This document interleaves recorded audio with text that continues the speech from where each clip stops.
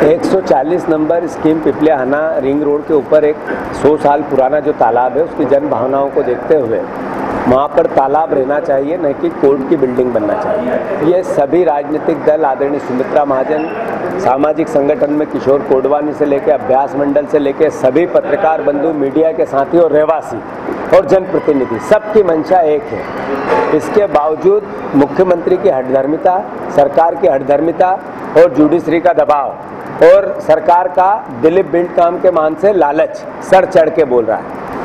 मैं चूँकि जनप्रतिनिधि, विपक्ष का जनप्रतिनिधि होने के नाते मेरा दायित्व तो बनता ही है, पर शहर की संरचना में अपना योगदान देने में हर आदमी का योगदान बनना चाहिए।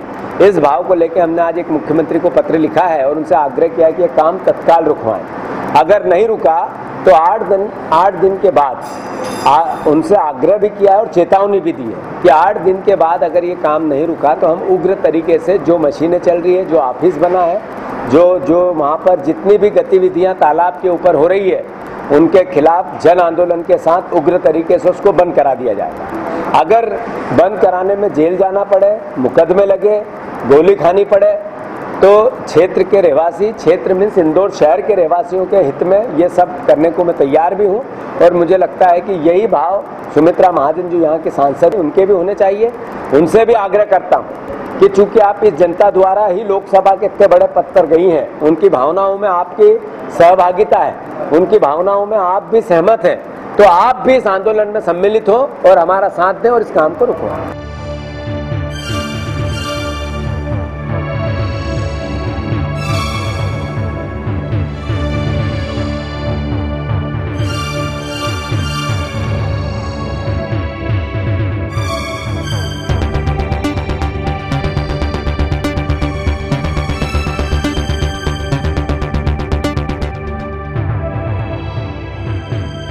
भारत सरकार के भू सर्वेक्षण विभाग में 28 हेक्टर का ये तालाब चिन्हित है। जब इसका निर्माण कार्य होलकरों ने करवाया था तब कृषि विभाग को जो ज़मीन दी गई थी वो पाल और पाल के हिस्से के दो खसरों की दी गई थी 480 और चार 525 लेकिन पानी का जो भराव था वो 26, 29 और 32 इकतालीस इन सब में भराता था ये 28 हेक्टर का टोटल तालाब था, जिसमें से तीन हेक्टर का पाल, तीन हेक्टर का तालाब शासन ने माना है। और 11 हेक्टर न्यायालय को ज़मीन दी है। टोटल 17 हेक्टर का ये निराकरण किया है। शेष इस पूरी झगड़े में प्रशासनिक तंत्र और शासनिक तंत्र ने मिलकर 10 हेक्टर अवैध निर्माण और कॉलोनियाँ जो बच गई, उसको वैधता दे दी है। ये है उसकी संक्षिप्त लड़ाई। 2000 में इस ज़मीन का चयन किया गया। तब जब जस्टिस काजू सुप्रीम कोर्ट की बेंच ने यह आदेश किया कि देश के समस्त मुख्य सचिव अपने अपने प्रदेश के जलाशयों का सीमांकन करके रिपोर्ट दें। और यहाँ बैठकर हाई कोर्ट ने ये डिसाइड कर लिया कि ये तालाब की ज़मीन जो है, भवन के लिए उपयुक्त है।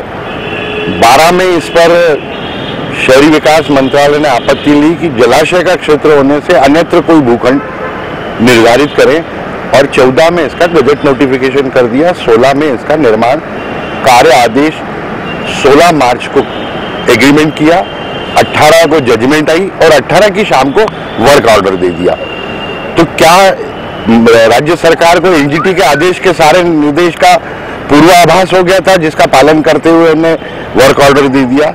एनजीटी के जो 29 निर्देश हैं, उनका पालन किए बगैर पिपलाना तालाब पर भवन निर्माण, पर्यावरण की विरुद्ध न्याय करने वाली इकाई जब काम करेगी तो प्राकृतिक न्याय सिद्धांत का कैसे पालन करेगी ये हमारे लड़ाई का मूल आधार है। आंदोलन दो अलग अलग लाइनें चल रही है।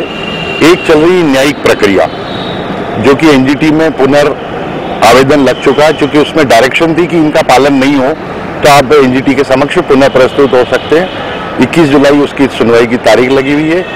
इस आदेश के विरुद्ध हाई कोर्ट, सुप्रीम कोर्ट में गई है। सात जुलाई को वहाँ सुनवाई है। 21 जुलाई को भोपाल में एनजीटी में स्थगन आवेदन पर सुनवाई है। ये कानूनी प्रक्रिया है, प्रायोगिक प्रक्रिया ये है कि जनमानस को इंदौर के, चूँकि इंदौर अब पानी के संकट में 2021 में खाली होने की कगार पर आ जाएगा। इस मुद्दे को लेकर जन चेतना चलाना चाह रहे हैं, लोगों को जोड़ना चाह रहे हैं कि जलाशयों को बचाया जाए।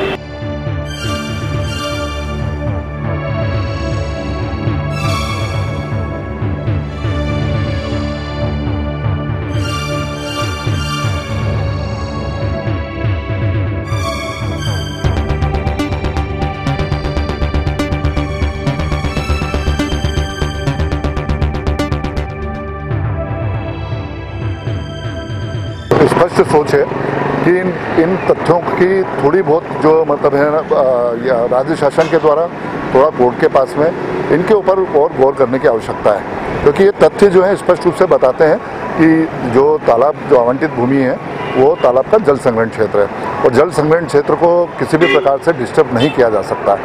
और मैं इसीलिए बोलता हूँ कि हमारे यहाँ के, हमारे पास में पिचासी पार्षद हैं, एक महापौर है आठ विधायक हैं और एक बहुत अच्छी समृद्धशाली हमारे पास में सांसद है। बहुत संवेदनशील है वो इस विषय को लेके। वो स्वयं बहुत अपने स्तर पे बहुत अच्छा प्रयास कर रही हैं। जब इतने लोगों का हमारे पास में सारी चीज़ें हैं और आप जैसी मीडिया, आप जैसे लोग एक सिंगल पॉइंट एजेंडा ले लें, मात्र और मात्र एक तालाब का एजेंडा ले लें और अगर इस एजेंडे को लेकर हम साथ में शासन, प्रशासन और जो भी संबंधित इसके अंदर जुड़े हुए जो लोग हैं उन सबके साथ में बैठेंगे तो मैं बोलता हूँ कि निश्चित रूप से इंदौर के जनता की जीत होगी। निश्चित रूप से इंदौर की जनता इसमें जीतेगी और ये एक हमारे लिए पैरामीटर बनेगा न केवल इंदौर के लिए बल्कि मध्य प्रदेश को पूरे देश के लिए। सीधे प्रत्यक्ष रूप से किसी आंदोलन से मतलब वो नहीं है मेरा कोई सरोकार क्योंकि मेरी अपनी एक मर्यादा है। मैं शहर का संवैधानिक पद को होल्ड करता हूँ मैं सभापति हूँ तो मेरी अपनी एक मर्यादा है, इस मर्यादा में रहकर ही मैं कोई कार्य कर सकता हूँ और मैं इसमें इन सब जनप्रतिनिधियों के पास में उनसे मिलकर आप सब लोगों के माध्यम से मैं आपसे भी अपील करता हूँ कि पूरी इंदौर की मीडिया एक सिंगल पॉइंट एजेंडा ले, सारे जनप्रतिनिधियों को बुलाएँ, पूरे पर्यावरणविद बुलाएँ। हमारे पास में कई पद्मश्री हैं जो पर्यावरण के अंदर मतलब उनको इतना बड़ा राष्ट्र का सम्मान मिला है। भालू मुंडे जी हमारे पास में, जनक पल्टा जी हैं, हमारे पास में मेनन जी हैं, इतने अच्छे अच्छे लोग हैं, देश के ख्यातनाम। इन सबको हम साथ में लें। और सभी लोग जब एक स्वर में, एक प्लेटफॉर्म के ऊपर जब इस पर बात करें और जो तथ्य हमारे पास में हैं, इन तथ्यों को लेकर जब हम शासन के पास में जाएँगे तो जिन चीज़ों की अनदेखी हो गई है, किसी त्रुटिवश किसी कारणवश वो अनदेखी हो गई होगी, उस अनदेखी को अगर हम वो वापस से इस पर पुनर्विचार करेंगे तो निश्चित रूप से इस तालाब को बचाया जा सकता है। देखिए, मैं मैं आपको स्पष्ट रूप से बोल चुका हूँ कि आंदोलन का हमारा कोई ऐसा विचार नहीं है। हमारा एक ही विचार है कि हम सब लोग बैठें एक प्लेटफॉर्म पे बैठें और बैठकर एक बार हम बात करें। ये बात चूँकि एनजीटी में जा चुकी है, एनजीटी ने इसमें अपने कुछ निर्णय दिए हैं तो सब लोग इससे बंधे हुए हैं। चाहे शासन भी हो, चाहे प्रशासन हो, सभी लोग इससे बंधे हुए हैं। हम लोगों को उन चीज़ों का, उन तथ्यों पर गौर करने की आवश्यकता है, जिन तथ्यों के ऊपर अनदेखी हुई है। ऐसा हमको प्रतीत होता है, जनता को ऐसा प्रतीत होता है। उससे सारे जनप्रतिनिधि बैठे, सारी मीडिया बैठे, और हमारे जो प्रमुख जो लोग हैं, उन सब लोगों को हम साथ में लेके क्या बैठ के बात नहीं कर सकते हैं? हम हिंदुस्तान में तो है ना? हम कोई कोई ऐसा मैटर तो इसके अंदर है नहीं कि जिसके ऊपर बैठ के बात नहीं की जा सकती है। हम सब लोग बैठ के बात करें, जिसपे जिन चीज़ों पर अगर त्रुटि रह गई है तो उन त्रुटि का निराकरण करें।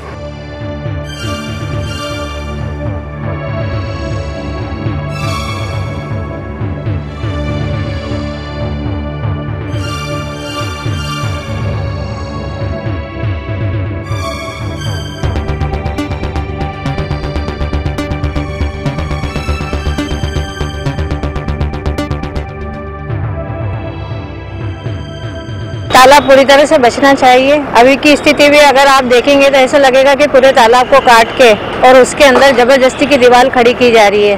वो दीवार भी आप खड़ी कर रहे हो वो ठीक है लेकिन आप एक तरफ़ आपने मिट्टी के ढेर लगा दिए सीमेंट का ढेर लगा दिया गिट्टियों का ढेर लगा दिया और एक तरफ़ से आपने उपजाऊ पा, पानी वाली जगह को आप खत्म करने पे लगे हुए। उसी पानी उसी जगह को अगर आप सीधे रखते हैं तो कम से कम 10 किलोमीटर की रेंज के लोग वहाँ से पानी पी रहे हैं। अभी इस साल मानसून देर से आया 20 तारीख को आया तो तराई तराई मच गई।